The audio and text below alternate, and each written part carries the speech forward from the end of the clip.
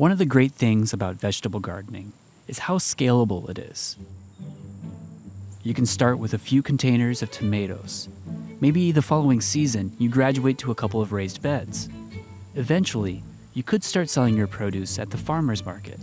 And finally, push your skills to become a year round CSA. But then, there are the Iowa State Fair vegetable gardeners, the blue ribbon aficionados, people who know how to meticulously pick uniform shapes, colors, and sizes of a wide variety of vegetables.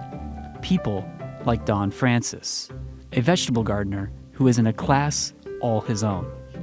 I put it all on a spreadsheet so I can keep track of it. There's there's probably about 160 or 70 classes um, at the fair. And so I probably will, depending on how the hail affected me, probably 130 to 40, 140 entries maybe.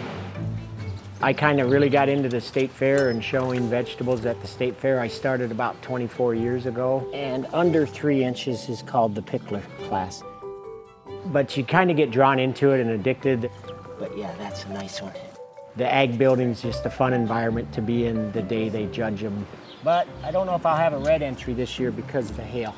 We call it Veggie Day.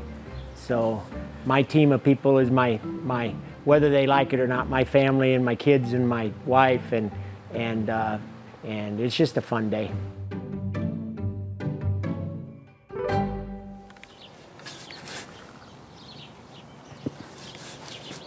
You know, the state fair is obviously part of the reason I do it. There you have it. I think I got them all. But I've just always loved gardening. I have to keep the stem on for the state fair, but although we're just practicing now. Oops, see, I broke it.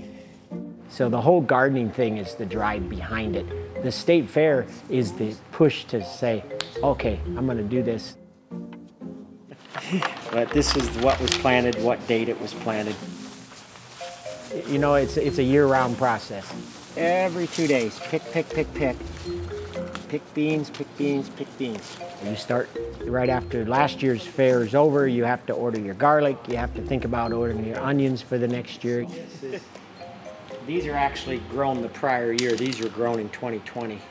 So I know I, to be ready for fair, I need to plant cucumbers on this day or beans on this day, and then it just picks up from there. Split, but I'm sure that's an heirloom, and that is gonna taste wonderful. And you know, you get to eat everything you grow, don't forget that. That might be an entry, two that match. Not quite, see, a little longer, but once the fair's over, that's when you can sit back and say, oh, now I can just, we can eat it now and, and just, uh, we eat it clear through the season, but you, the, the pressure goes off of, gosh, I hope I don't eat the blue ribbon.